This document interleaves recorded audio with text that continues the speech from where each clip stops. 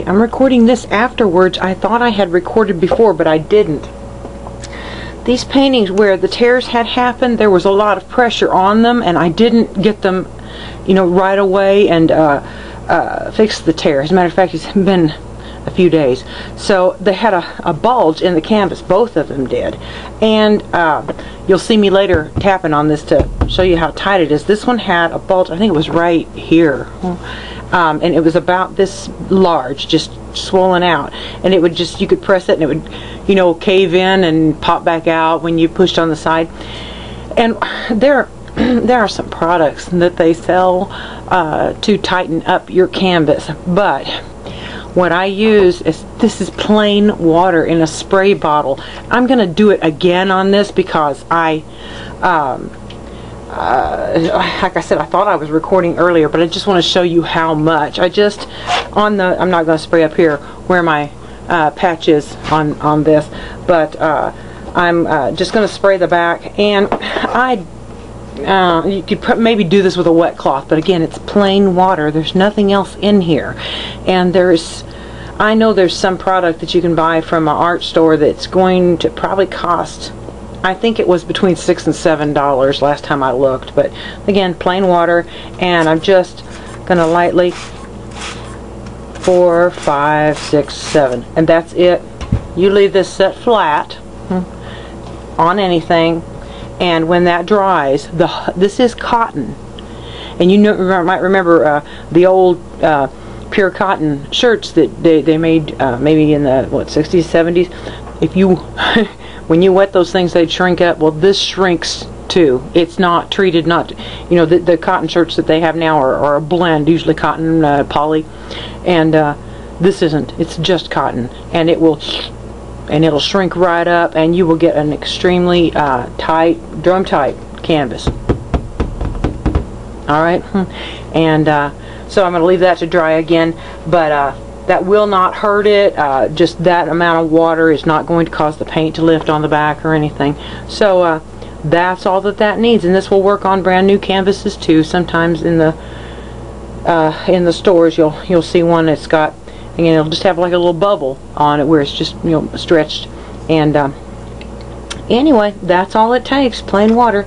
And I'm trying to think, is there anything else that I left out? Anyway, let's get on with the video and I will be showing you this after it's dry from there. Okay, my canvases are totally dry and I even, uh, to speed this up, I took a, uh, uh, a blow dryer and just held it up a little bit and hit it and I didn't I don't want it getting real hot I do have paint on the other side of this and so I don't want to you know heat my my paint up a lot but I uh, I've dried it and this let me just do you hear it tight as a drum. It's not. It's not uh, bulging at all anymore. None at all. It's just totally gone, the bulge. And I didn't, you know, do anything to press it or anything. I just uh, did that. So now I have my my little tear here. There, right there. And it closes up visually pretty good when I just do that. And I don't know if you can see. Let me try this up close. It has got some little um, fibers on it here and I kind I want them toward the back. So I just push them back in there. One side had the fibers this side did and that side didn't. So I'm pushing them toward the back. I try to get on here so you can there it is. And can you see maybe little fibers. I want them on the back. I just don't want them showing through. So I'm going to lay this down here. Alright, that's as good as I can zoom in and here it is. And it's across this way and down this way. Alright, what I'm going to do is um, take a, I'm going to make a patch out of some canvas that I have. And I don't want this square because wherever there's a corner corners just catch things easier. So I'm just gonna oh just gonna cut a section out. I like it to be a little bigger than the again I don't want corners on here. And you could do this whatever shape I guess but And you know, if the corners were laying down like this, they they could come up and something come along and just catch it, and it would just start eventually peeling. It's just harder to do on something that doesn't have corners. Hmm. So hmm, I'm gonna get rid of that. All right, there's my patch, and I'm going to uh, put it over. I'm going to put it over. It doesn't really have a right or wrong side. One side has, uh, one side's plain, one side has gesso on this. Um, this canvas that's on here, both sides have a little bit of gesso on it. Doesn't matter.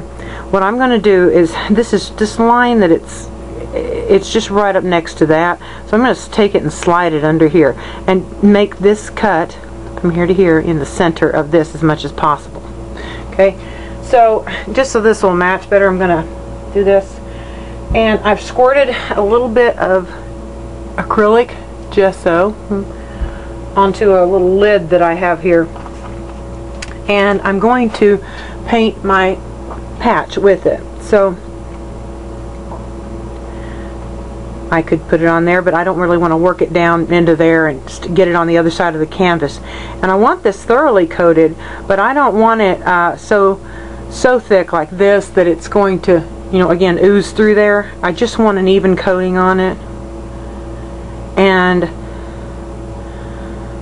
just make sure that I have it all over it. And a little bit on the back, it won't matter. Hmm. Um,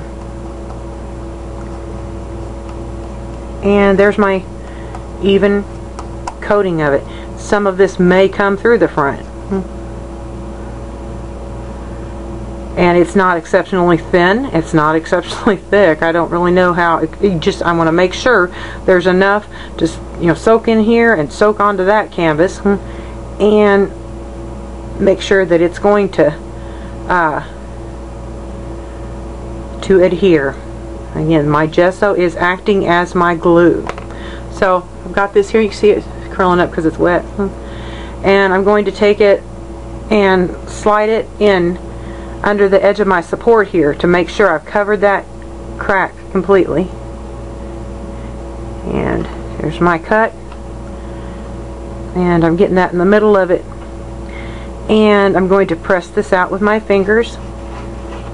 And uh, you can use, excuse me, an old credit card. Uh, you can press it with just, just with your fingers and that's fine.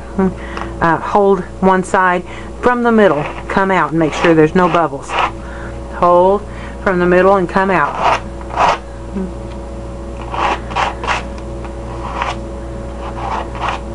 Now, what I want to do is take something heavy and flat and put it on there because wet things want to curl and stretch and bend and shrink and all that kind of stuff. So, just some uh, baking soda that I have. Generic works just fine for this.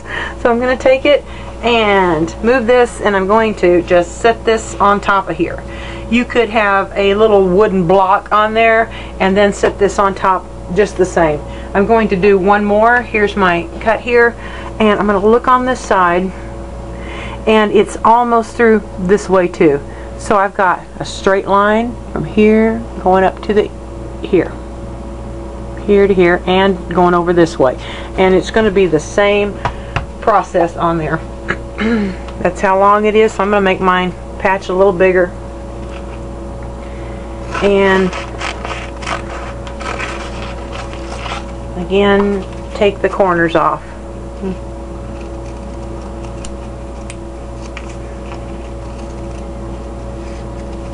That's just so something doesn't catch on it. They won't hurt anything. It's just uh, and you know, not a lot's going to be going on back here, but through the years, something could catch on here. I want to make sure if there's any fibers.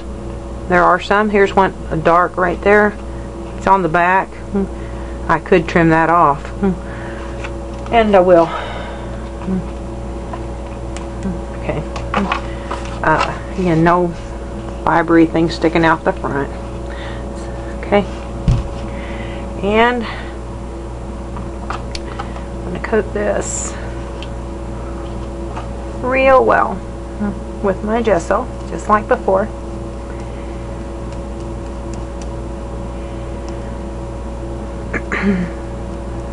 Excuse me, my voice is a little off tonight. I'm not, um, I need to drink some tea or something. Okay, again, it's not real thick, it's not real thin.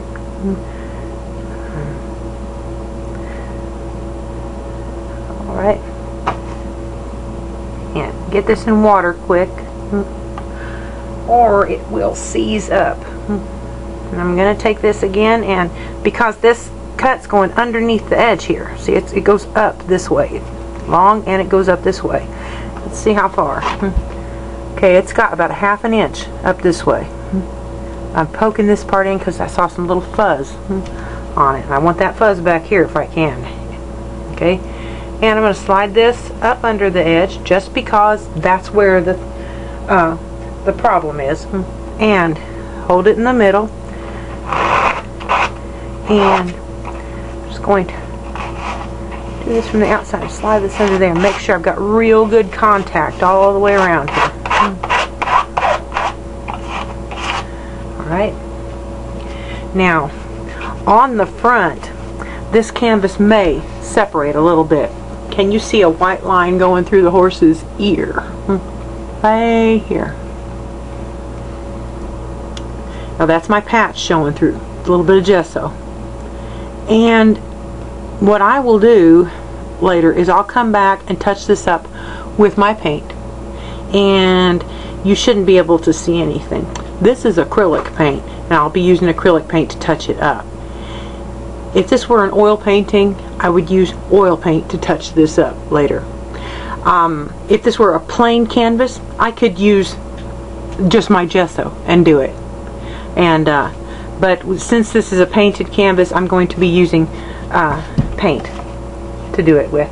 And let me just make sure because I picked it up hmm, that that has real good adhesion on there. And but alright I will come back and show you when that is dry and uh, that's probably going to be in the morning. Um, another thing is while this right now I don't really have any gesso, I think, coming off onto the ear. But let's make sure you can see where the crack is. There it is. I can take, I've got uh, just a wet paper towel here, and let me get it centered. I got a wet paper towel right here. And if I have any oozing out onto the front, I can wipe it off. However, I don't want to wipe straight across this way. I want to wipe with the cut in the canvas. So I'm going to from here going toward the middle just wipe straight down gently and wipe up. And this cut this way cut this this way right here. I will just wipe that toward the main part of the cut. Right because if I wipe across what will happen is I will lift one of these sides and have to start over. Hmm. So Alright, I'm going to put something heavy on this too and uh, we'll let that dry and come back and touch up the paint uh, tomorrow. Okay, just a quick note. Um, when this feels dry to the touch, it may not be dry just yet. And the way you'll know is your fingertips are very sensitive to uh, heat and cool, temperature changes. Put your hand on the canvas here, your fingers, and then move it over the patch and if the patch feels cooler it's still got dampness inside of it even though the surface is dry.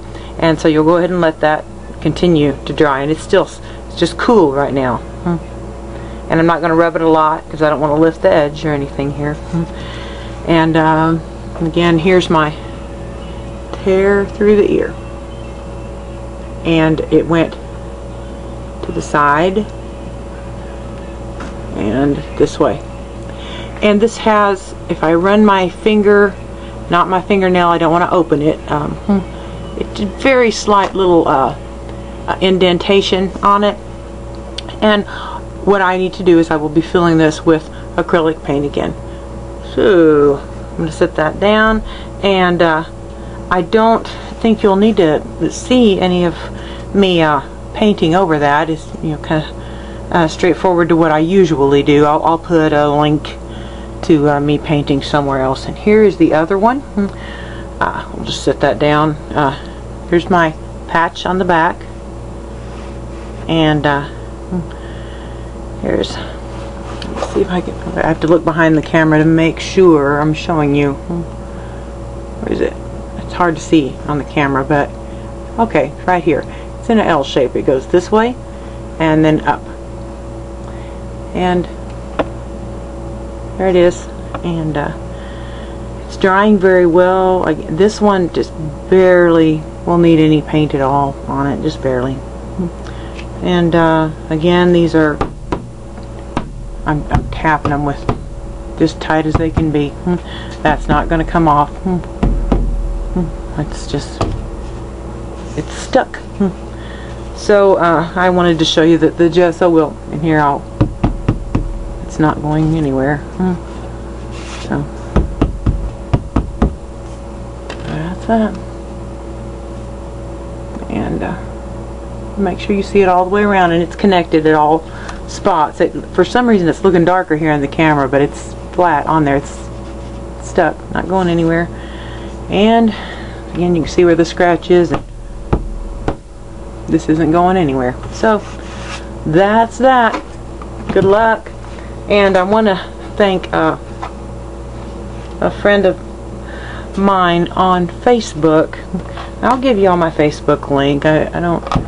Uh, I, I, have quite a few people on there. I'm not sure how many I can talk to, but I, uh, uh, I toured these earlier today because they were um, they were in a closet and the shelf, shelf fell a metal shelf and it went through this one and uh, really uh, just ripped that one and you know pressed hard against it and did a little ripping but um, anyway uh, uh, I was real discouraged. I, I, posted on there that I tore two paintings. I was ready to burn them.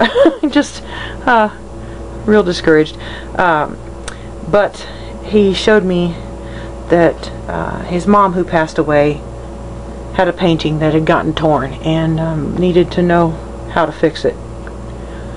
So I probably wouldn't have done this for myself, but because his mom was someone really, really special to me, I uh, I decided to go ahead and and do this. And uh, his mom's Kathleen, and she's she was a great friend of mine. And uh, thanks, Dave, for asking me because I just saved two paintings because of it. That's all. Bye bye. Okay, the last little bit is that once this is uh, dry, what you can do if you want to cover the back of this and make it look, you know, uh, you know, kind of restore back to looking professional, is you'll take brown craft paper and uh, cut it to, not quite to the edge, but almost to the size of the canvas. And you just glue the edge of that all the way around the canvas and it will um, have the uh, the back completely covered that no you can't see the patch at all.